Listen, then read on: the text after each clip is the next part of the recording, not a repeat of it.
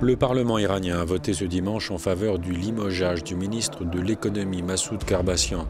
C'est le deuxième ministre du gouvernement écarté en moins d'un mois et le signe de la fragilité croissante du président réformiste Hassan Rouhani.